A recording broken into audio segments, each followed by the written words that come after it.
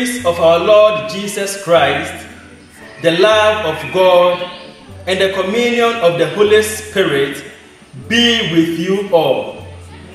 You are welcome to the 16th Sunday in Ordinary Time, Year A. And I would like to reflect with you on the theme Seeking the Patience of God.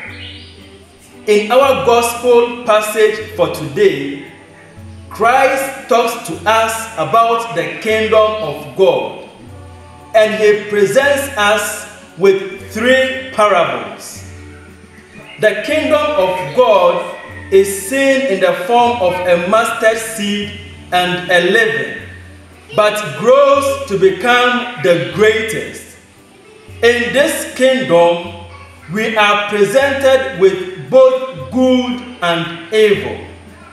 The question we would like to ask ourselves is why does God permit evil to grow along with the good? The Psalms for this Sunday gives us the answer that God is slow to anger, abundant in mercy and fidelity, hence his patience.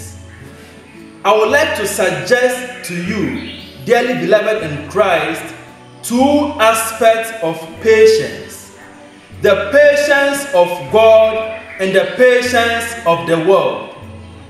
The patience of the world is seen as giving quick and fast results. A lot of people have resorted to the patience of this world and have made decisions or said certain things or undertaken an adventure which they have regretted. But with the patience of God, it is seen as delay or even a waste of time. But at the end, the result is the best.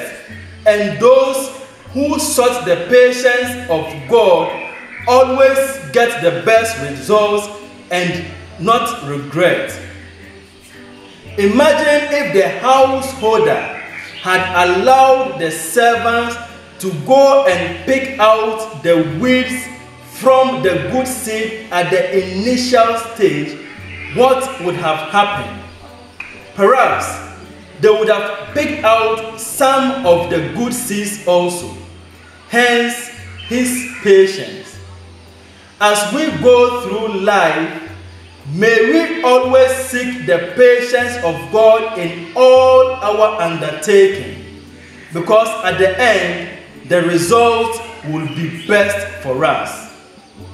As we go through this week, may God, who has called us to follow Him in a very special way, bless us, the Father, and the Son, and the Holy Spirit. Amen.